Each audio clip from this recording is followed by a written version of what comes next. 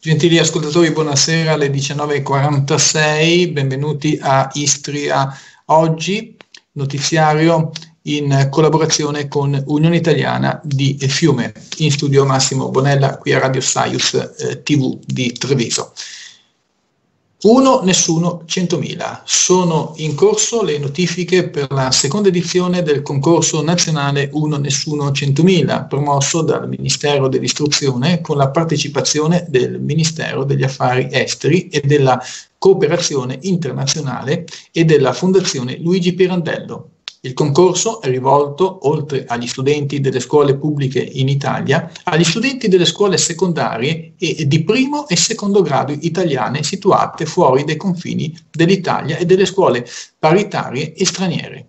Il concorso si inserisce nel programma culturale ricco di iniziative e progetti linguistico-culturali e scientifici che la Farnesina realizzerà nel corso del 2018 per l'anno dedicato a Italia, Culture, Mediterraneo. Olimpiadi di Italiano sono aperte le iscrizioni all'ottava edizione del, delle Olimpiadi di Italiano, organizzate dal Ministero dell'Istruzione, dell'Università, della Ricerca e in collaborazione con il Ministero degli Affari Esteri e della Cooperazione Internazionale. Le Olimpiadi sono gare individuali di lingua italiana rivolte agli alunni delle scuole secondarie di secondo grado italiane e fuori dai confini dell'Italia e sono suddivisi in quattro categorie.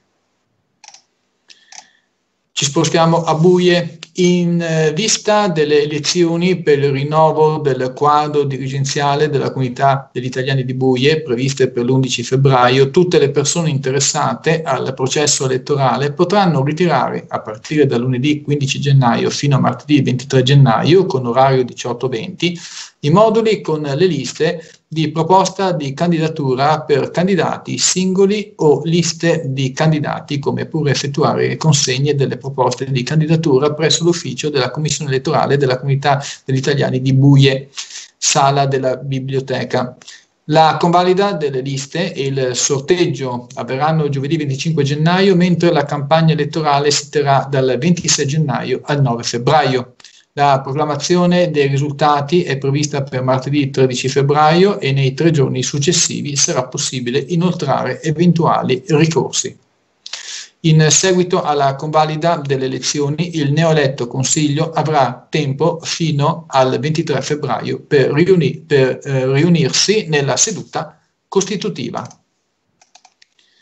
Il Consiglio della Comunità Autogestita della Nazionalità Italiana di Isola, nella sua riunione del 10 gennaio, ha approvato, su richiesta della Comunità Nazionale Ungherese, la facoltà di ottenere sovvenzioni dirette dal governo per il bilinguismo, senza il bisogno di passare precedentemente attraverso le municipalità. Il Consiglio ha esaminato successivamente i preparativi per il riconoscimento annuale della canna costiera senza formulare nuove proposte. È stato infine discusso il decreto governativo sull'ammissibilità di alcune spese per la CAN, testo che penalizzava le attività dei connazionali e dopo delle consultazioni con l'ufficio per le nazionalità sono state ottenute modifiche importanti, sebbene restino ancora dei punti da chiarire. Umago. Nella sessione dell'Assemblea della Comunità degli Italiani di Umago è stato varato il piano finanziario e il programma di lavoro per il 2018 e si è discusso in merito al dibattito avviato in seno all'Unione Italiana sulle modifiche dello Statuto dell'Unione Italiana. I consiglieri hanno ritenuto necessaria una, forma, una riforma dello Statuto, ma hanno affermato che questo lavoro di revisione, per essere responsabile, necessita di una, serie, di una seria ed accurata analisi dei punti da riformare e di quelli da valorizzare. Per garantire un miglioramento occorre prima definire le linee guida da seguire e gli obiettivi da raggiungere. Il Consiglio si è detto aperto ad un dibattito pubblico guidato ma solo in seguito alle prossime elezioni.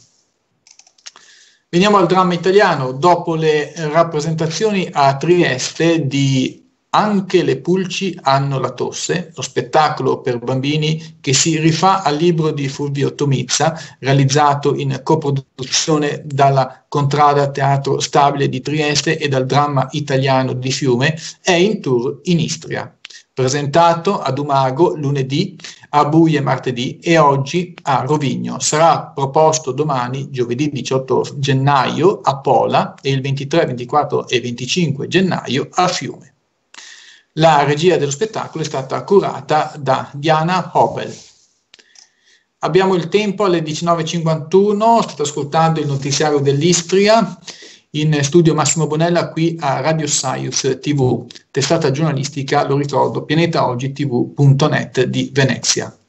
Abbiamo un'altra notizia, dicevo, da Isola, giovedì 25 gennaio alle ore 18, la comunità degli italiani Pasquale Besenghi degli Ughi di Isola vi invita presso Palazzo Manzioli al primo appuntamento dell'anno col Cineforum dedicato all'illustre icona della cinematografia italiana e mondiale Alberto Sordi.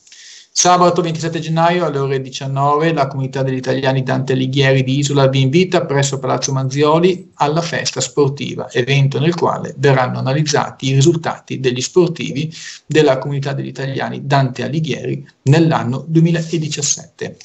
Vediamo se abbiamo ancora un flash eh, di eh, notizia che può interessare anche per coloro che ci ascoltano nel Veneto, non solo, ma anche fino, eh, in, fino eh, sotto a, fino nelle Marche praticamente, perché l'appuntamento c'è una eh, tutti i giorni, ma in modo particolare evidenziamo questo appuntamento su Radio Rai ogni mercoledì alle ore 16, il programma Sconfinamenti sulla frequenza in onda media AM 936 kHz e in streaming su www.sedefvg.rai.it con l'Unione Italiana per l'approfondimento dell'attività in essere dell'organizzazione. Proseguono invece ogni lunedì gli incontri dedicati all'Università eh, Popolare di Trieste eh, sconfinamenti è disponibile anche in podcast. Quindi vi ricordo la frequenza M936,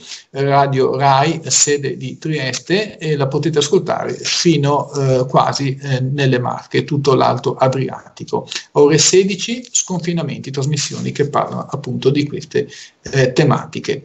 Alle 19.54 non mi resta eh, che chiudere qui il notiziario dell'Istria. Istria oggi è andato in onda su Radio Sirius TV.